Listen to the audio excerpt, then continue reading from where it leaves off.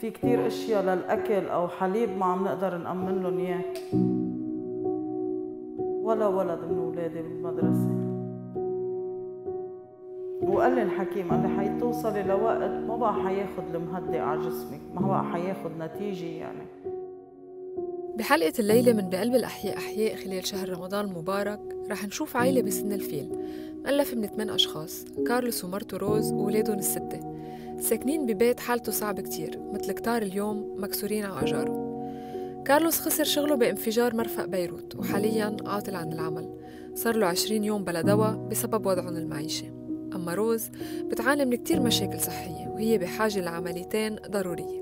غير المشاكل الصحية اللي بيعانوا منها الأهل اثنين من أولادهم كمان بيواجهوا مشاكل وللأسف الأولاد بعد ما راحوا على المدرسة لليوم. الأهل بيطلبوا من العالم يأمنوا لهم أكل وأدوية ليعيشوا كل يوم بيومه. بس كيف بدهم يأمنوا مستقبل لأولادهم على المدى البعيد؟ إدارة صوت بيروت انترناشونال رح تساعد عائلة كارلوس وروز مثل ما عم تعمل مع كل العيال اللي عم نشوفها خلال الشهر الفضيل روز خبرينا. انت ومين عايشة بهيدا البيت؟ عايشة أنا وجوزي وولادي. كم ولد عندك اسم الله؟ عندي ستة. وجوزي وأنا. وجوزي مثله مثل كل هالرجال. بمصلحته ما في شغل شو بيشتغل؟ جوزي بيشتغل برادي داخلي وخارجي مم. وهلأ ما في شغل بمصلحته عم يشتغل شو ما كان وشو ما بيجي شغل عم يشتغل بس أيام تمرق أربعة أشهر خمسة أشهر ست أشهر اللي هن بيقعدوا بلا شغل ما قدر يأمن شي شغل تاني غير البرادة؟ اشتغل مرة فالي باركينج مرة اشتغل محل حلو مرة كل ما بيشتغل بشغلة بصير شي يا بيوقف الشغل يا أما الزلمة بيسكر أو هيدا وبيرجع بيقعد. بيروح. من فترة اجى دهن آه، أوضة راح دهنها بس لما بتكون واحد قاعد خمس ست أشهر على فرد سحبي بلا شغل هيدا الشيء ما بيع يعني ما بيعمل لك شيء أكيد.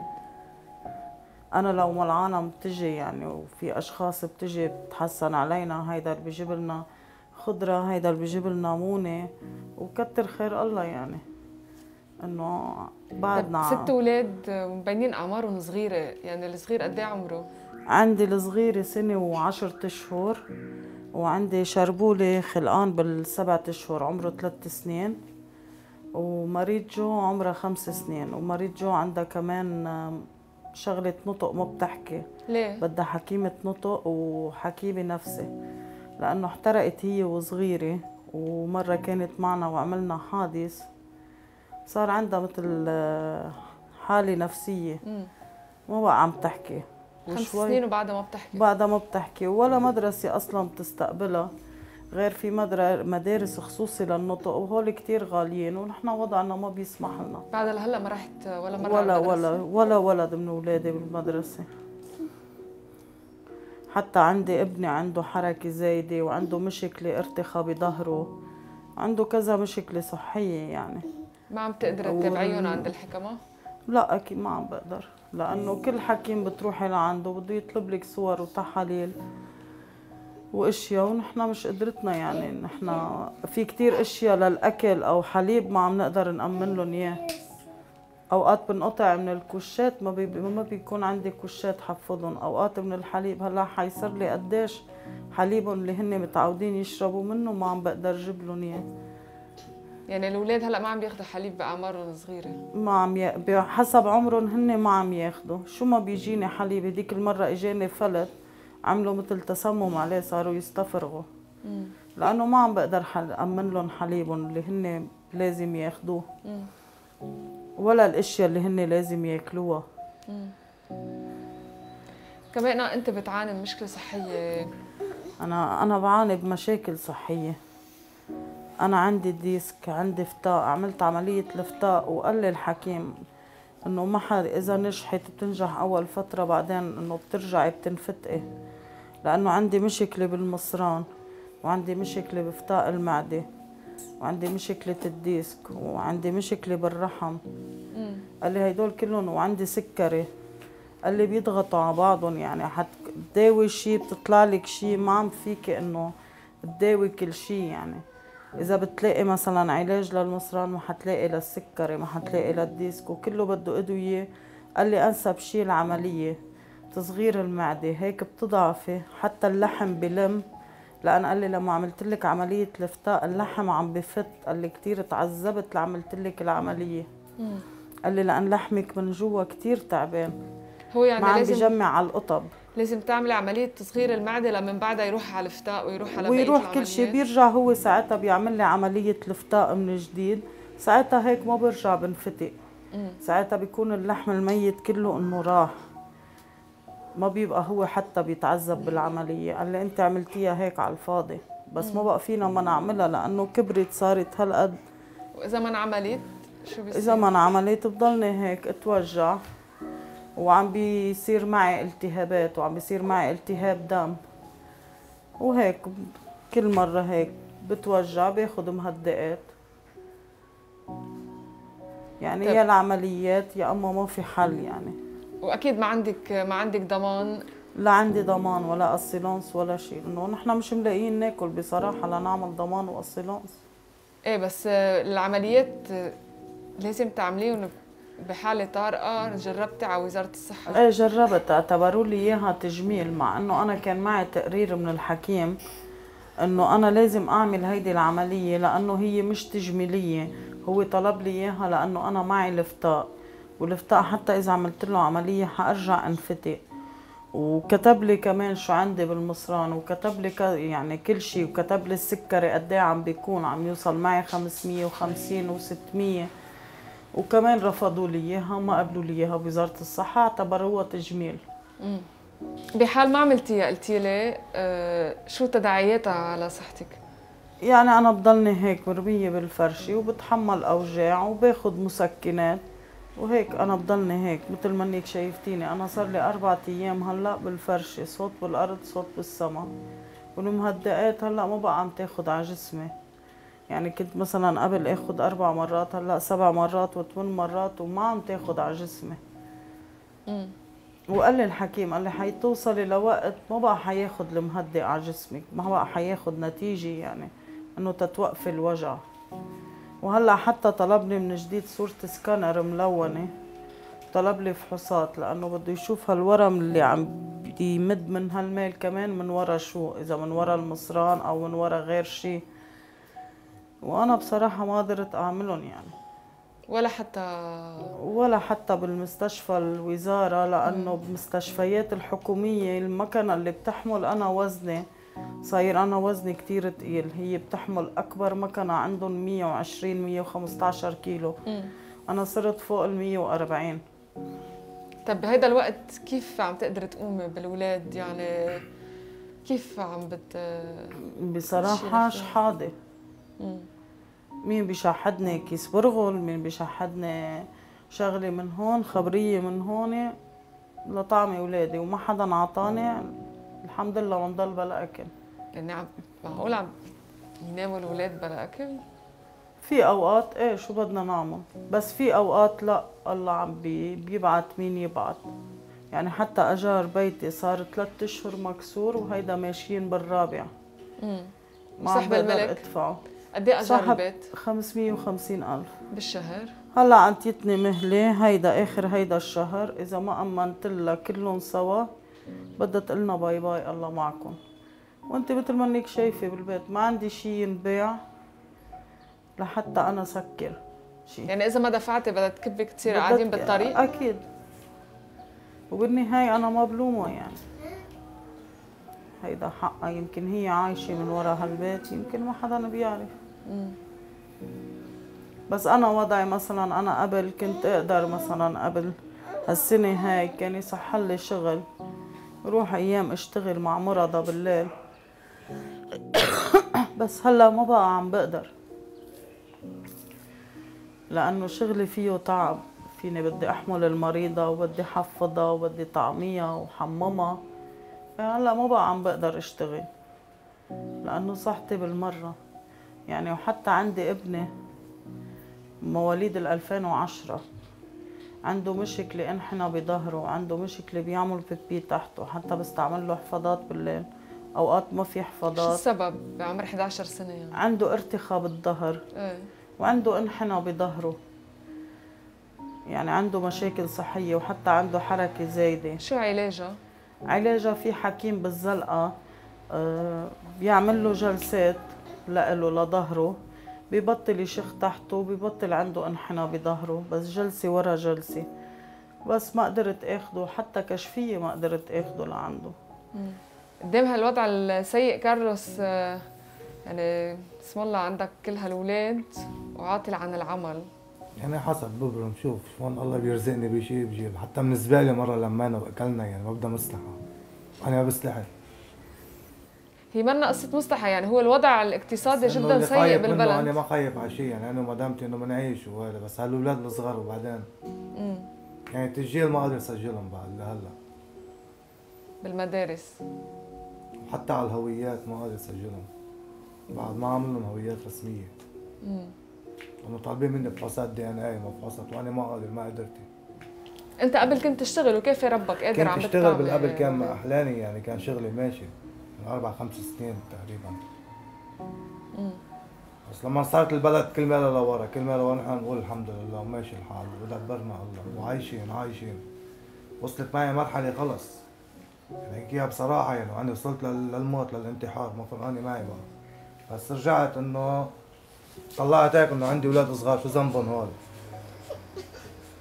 إنه أنا كل اللي بيهمني إنه هالأولاد هول يتعلموا ويكونوا أحسن مني وأحسن ما أنا ربيت واحسن من العيش اللي نحن عايشينه أنا ما طالب أكثر من هيك؟ أكلنا وشربنا. من تسعة أشهر كنت تشتغل فاليه بمطعم. باركينج. ليش تركت الشغل؟ طلع الانفجار اختربت الدنيا تحت ما بقى في عنا شغل. انفجار أربع آب. إيه. وقفونا من الشغل. يعني خلوا واحد بس. كنا تقريبا شو 15 واحد عم نشتغل. وقفونا كلياتنا خلوا شغال واحد. يعني أرخص شيء بيناتنا هو. إنه ما عنده عائلة ما عنده حدا. من بعدها جربت إنك تفتش على شغل وما توفقت؟ ما كنت اتوفق يعني اشتغل شوي هون شوي هون. طلع لهيدا شغلة يعطيني. يعني هيك. إنه شغل ثابت ما عدت لقيت. طب صاحبة الملك عم تقول آخر الشهر بدها الاجار أو بتصيروا هو بنصير. بالطريق يعني جربت تحكي معها تطول بالها بعد أكثر حكيت مع مدامتي وهذا ما عادتنا مهلة لآخر الشهر خلص. انه بدكم تفضوا وتفلوا في شي محل تروحوا عليه بهيدي الحالة؟ قد إيه أنت هيك ب... عندك هيك حرقة كبيرة؟ إنه أنت قبل كنت عايش مش عم نقول مرتاح بس إنه على القليلة ساتر حالك وساتر عائلتك، اليوم بسبب الظروف يلي وصلونا لها سياسيين أنت اليوم عم بتعاني ومهدد بأنك تقعد على الطريق مع ست أولاد ومدام م- مريضة. يعني شو بدي لا تدمير مثل ما بيقولوا. حالتي حياة إنه تدمير. ما في شيء يعني كل ما بتطلع هيك بالأولاد بقول في أمل لقدام. يعني هيك بصراحة أنا أولادي اللي ومرتي اللي مخليني بعدني صابر لهلا وساكت جربت تنتحر؟ جربت كذا مرة. بس في مسؤولية عليك يعني هذا القرار اللي كذا أخذته. بس ما زبطت ما زبطت كرمال هالولاد؟ مش كرمالي أكيد. آخر شيء لا اقتنعت بهالشيء إنه هيك الله بده يعني ما بده اياني إني أروح هيك. ويتم هالطفاله هول ما أكثر من هيك. وحاولوا كتير ناس إجوا إنه يجوا يساعدونا وهيك بس في مقابل إنه ياخذوا ولد من الأولاد. إنه بحجة إنه هن بدهم يساعدوا منيح إنه هن بدهم يعملوا هيدا. بس قال بياخذوا الأولاد. قلت لهم لا ما بدي مساعدتكم ولا بدي شيء منكم. بيهمني أنا نام على البلاط وآكل خبزي حاف بس ابني ما يروح من حضني ولا بنتي. هلا موجوعة مدام. إيه، هلا بلشت نوبة الوجع راح المسكن. ادويتك كلهم عم تقدر تأمنيهم؟ بصراحة في شخص من يومين إجا بيعرف جوزي وشافني كتير موجوعة راح عمل لي إياهم أدوية الوجع كلهم وقال كنت مقطوعة منهم. إذا حتى أدوية الوجع حتى أدوية الوجع؟ حتى دواء السكري كذا مرة أنقطع منه. في شخص الله يخلي له عائلته وأهله. يعني لو ما هو يجي بالوقت المناسب ويجيب لي إياه يكون واصل معي السكري 600 610 اضطر أعمل هو بالجمعة ابرة أنا اضطر أعمل بالجمعة إبرتين لينزل السكري لأنه أنا مش كل أدوية السكري بتناسب جسمي. يعني الأنسولين العادي أنا بيعمل لي حساسية وبيعمل لي التهابات. وفي ادوية كتير وحبوب جربنا إنه تعطيني إياهم الحكيمة كمان ومشي الحال غير عن هيدول الابر وهول الابر غاليين. مشان هيك مش كل الأوقات عم بقدر امنهم بس في شخص عم يقدر أوقات يأمن لي إياهم كتر خيره. هلأ صار لي شي تقريبا شهر مش مقطوعة منهم. بس قبل كنت انقطع منهم كتير. يعني اليوم الأولوية إنك تعملي هيدي العملية لتخلصي من هول الأوجاع. بخلص من كل شيء بخلص من الأنواع بخلص من الأدوية بخلص من كل شيء ترجعي فيك ترجعي على الشغل كرمال؟ فيني أرجع على الشغل. فيني أرجع أعمل شي لعائلتي. فيني أقوم بولادي. أنا ما عم بقدر أقوم حتى بولادي. يعني أنا هلأ صار لي أربع أيام هن عم يخدموني مش أنا عم بخدمهم. لأنه ما عم بقدر أوقف على إجري. من الوجع نهائيا. يعني حتى من يوم امبارح أولت امبارح ما قدرت فوت على الحمام أقضي حالي. لبين ما إجوا شالوني كنت أنا هيدا. طب هالولاد يعني قلتي لي بنتك بعد هلا ما بتحكي لأنه تأثرت باللي صار معها وكمان هن صغار يعني عم بيشوفوا كل هالقصص قدامهم.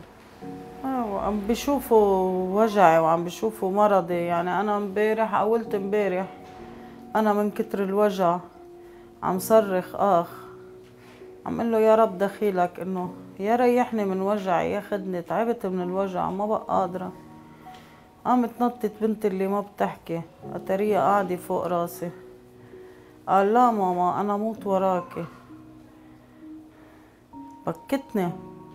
ما تعيطت لهم قلت لهم طلعوها لبرا ما بدي تشوفني إنه أنا عم بتوجع هيك. يعني عم حاول قد ما فيني قدامهم. يعني هذا الشيء بأثر عليهم نفسيا كثير واضح يعني. بس أنا ما عم بيحل عني الوجع يعني أنا بتمرق معي ثلاث أيام أربع أيام أيام أسبوع. مرة ضليتني شهر وجمعة. أنا مثل ما شايفتيني هلأ أنا بالفرشة. آخر شي وصلت مواصيل ويحط لي حفاضات حتى على التواليت ما بقى قدرت قمت خالص. ومن كتر الأدوية صار معي التهاب دم. رجعوا فوتوني بقيت بمستشفى الحريري 27 يوم لحتى شالوا لي التهاب الدم. نحن بمناسبة شهر رمضان باسم صوت بيروت انترناشونال مساهمة مالية لإلكم تفضلي ميرسي كلكم ذوق. يعني جيب لهم شوية أكل أغراض ما بعرف. الحمل عليك كبير يعني. ويلك الأجار ويلك ياكلوا ويلك يشربوا.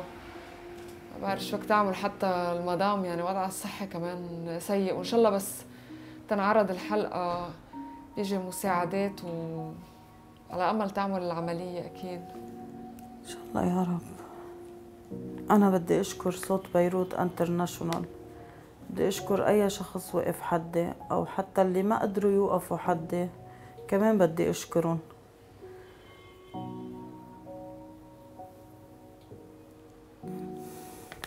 ما رح بقى نطول عليك مبين قديشك موجوعة. إن شاء الله بتعمل العملية وبتقومي بالسلامة وبتوقفي حد أولادك إن شاء الله يا رب. رمضان كريم. ميرسي. عليكم. قديش في عيال مثل عائلة كارلوس وروز كانوا عم بيعانوا من الوضع الاقتصادي الصعب وإجا تفجير مرفق بيروت خسرهم الشريان الوحيد اللي كانوا يعيشوا منه. وما إجا مين يعوض لهم الشغل لأن بكل بساطة ما حدا بالسلطة سألان. انفجار بحجم اللي صار هز الكرة الأرضية إلا ضمائر المسؤولين. اللي لتاريخ اليوم ما صارحوا اللبنانيين بحقيقة اللي صار وإذا رح يصير في محاسبة جدية. برنامجنا رح يبقى الصوت اللي عم ينقل معاناة مجتمعنا وبذات الوقت يضوي على تقصير السلطة بحق المواطنين.